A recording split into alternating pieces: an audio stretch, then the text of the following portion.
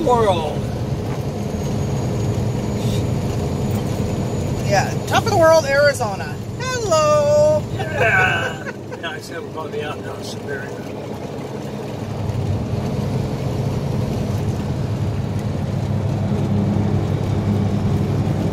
And you all don't think it snows in Arizona.